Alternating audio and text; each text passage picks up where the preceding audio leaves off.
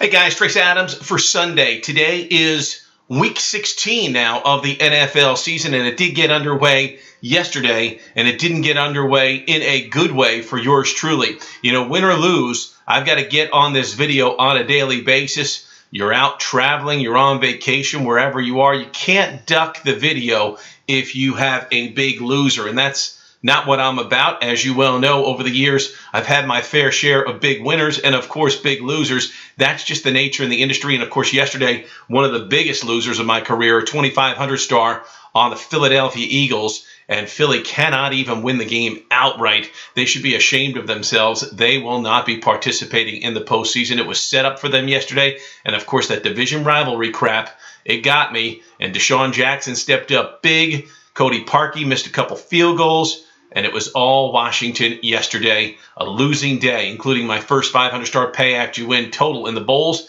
which started the day with a loser on Nevada and UL Lafayette going over. They could have played till Tuesday and still not gone over the posted total. That's yesterday. Today is a new day. I'm going to find a new way. And we do so with a top rated 1,000 star. It's winner number 10 of 13 overall. It's a division rivalry lock. It's on Atlanta and New Orleans, and it's online right now until five minutes before kickoff. The winner of the Falcons and the Saints, top rated 1,000 star winner number 10 of 13 goes out. Also available 500 star pay after you win.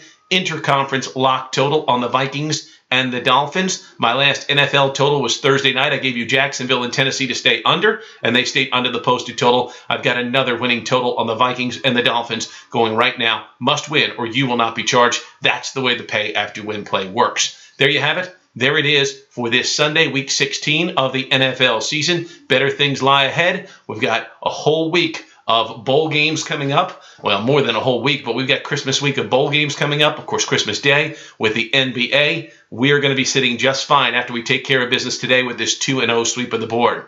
All right, your comp winner for this afternoon is going out in the NFL as we ride the Baltimore Ravens at the Houston Texans. Ravens closing in on a playoff spot, and today They've got a tough matchup against a tough defense in the Houston Texans. Problem for Houston is their quarterback situation. They are now down to a third string quarterback, and I don't like that against a Baltimore Ravens team seeking a playoff berth. I am going to go with Baltimore minus the points on the road to win this game by a touchdown, get the cover, and make everybody happy in Charm City.